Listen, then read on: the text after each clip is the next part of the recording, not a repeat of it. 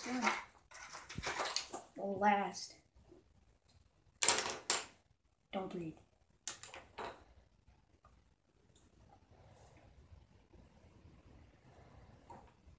Explain what you did. So These are Cuisenaire rods. it's Grace's math rods, so and it's one between ten. So I at the very start I started at one, then went to two, then went to three, four. I'm gonna go all the way up to ten. Last time I tried this, I got up to eight, and I breathed on it and it fell. But you kind of go, but no, I can barely do it. But I went, so it went really badly.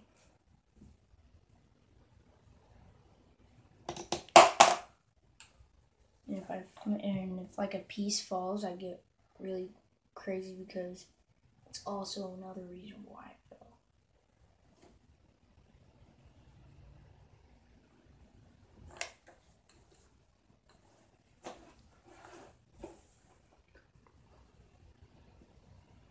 I swear if this thing falls on 10, I'm gonna be mad.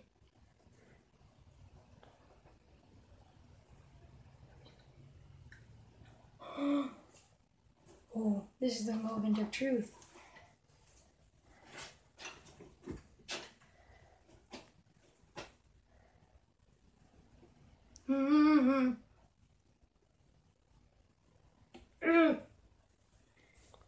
Don't me now.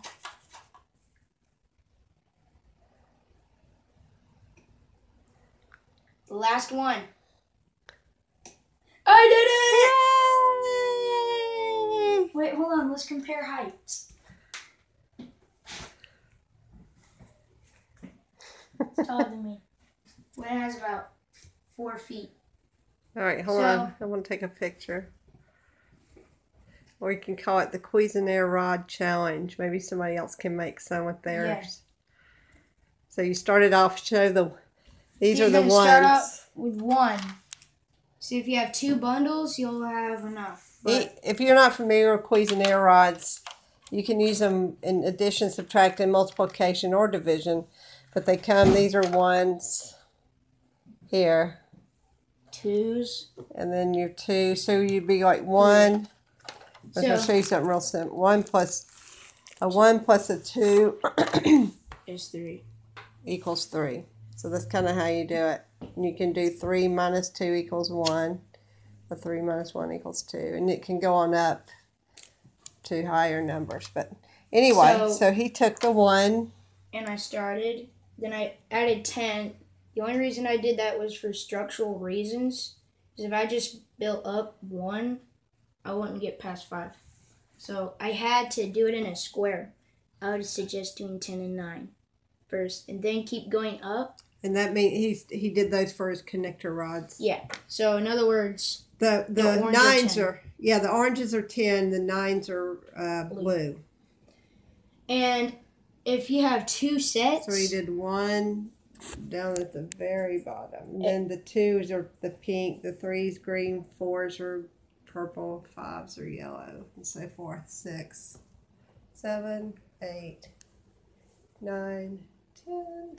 if you get to if you have two bundles, um, you won't have enough to get past uh eight. Okay, so you only have two tens left over, and you'll have to. I continue with eights.